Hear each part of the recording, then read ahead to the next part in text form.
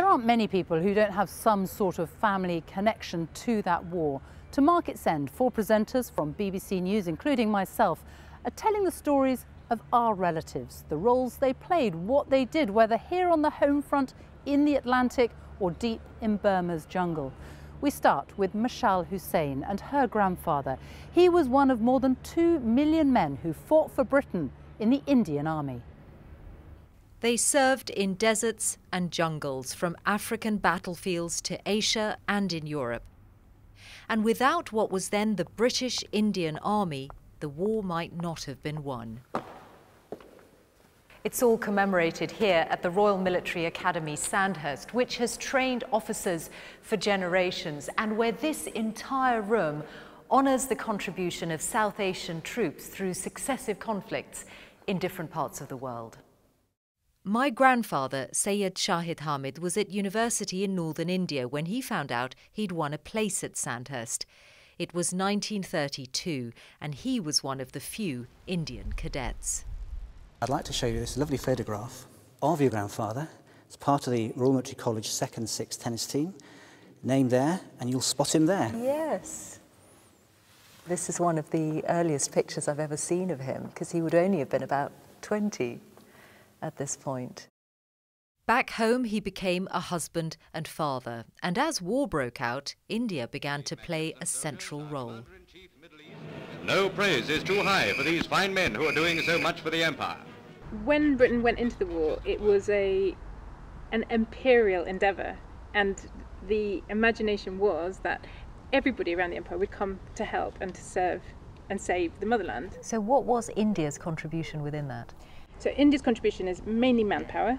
There are vast numbers of men recruited, but it also produces raw materials, uniforms, timber, goods, cotton. There's a lot of drive to, to build up factories, munitions factories in India itself. From December 1941, the conflict came closer to India as Japanese offensives threatened British strongholds in Asia. Shahid was ordered to Burma, his ship arriving in Rangoon as an airstrike was taking place. If you land up in a harbor and you find yourself in the middle of an enemy bombing raid, it couldn't be a pleasant uh, experience. It was the first of many searing experiences which have been pieced together by my uncle Ali. When the Japanese surrounded Rangoon, uh, they blocked the road. And uh, he writes that there was a column of over 40 miles long. Where's the water coming from? Where's the food coming from? uh, what's happening to the injured. What did he see of the plight of the civilians, all of those who were trying to get away from the Japanese invasion? The plight of the civilians is terrible. He says that a stage came where they were offering a fistful of rubies for a fistful of rice. Burma would soon fall to the Japanese, and Shahid later reflected upon the perils of the time. It was terrible when the wooden houses caught fire and the ammunition dumps started exploding. I was blown into a trench and thought that I'd been hit and could not open my eyes. The picture that emerges from these pages is of the intensity of this period in Burma, and I didn't realize until now what my grandfather faced from the very moment that he arrived. And for him, it comes to a very sudden end when an injury to his eyes means that he is evacuated back to India in April 1942. But what was happening around him and elsewhere in the region as Japan advanced through one territory after another was a reality check for Britain and the Allies. With the Burma campaign, were the Allies taken by surprise when the Japanese invaded? It was a massive shock. It's hard to overestimate the, the scale of the shock and anxiety that ran through the British Empire when the Japanese came uh, through Singapore and then took over that whole half of the Asian empire. And Burma uh, was not expected to fall. Some of those who lived through those years are still with us today, veterans of an army made up not of conscripts but volunteers, and who joined up for many reasons. Very, very the poor people.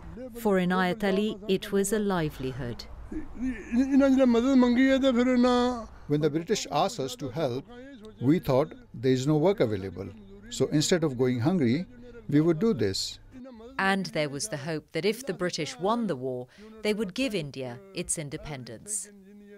In many ways, that greater rise in nationalism that's taking place in India is reflected in the army. There is a greater sense that these young men and officers who are coming through in particular, many of them are nationalists and they believe in actually achieving a greater status for India. Whilst they may not be enthusiastically pro-Raj, what they definitely are anti is anti-Japanese occupation. The army that defeats the Japanese it, we refer to often as the British Indian Army. It is an Indian army that defeats the Japanese. Whilst they are fighting on the British side, who they're really fighting for is India. After the war, my grandfather continued his military career and had a long life. Others were not so fortunate. A war that drew in many countries means that today some lie far from home. Their service is commemorated, but their stories are slipping further into the past. Now it is up to us to remember, to learn, to be grateful for the courage of those who went before.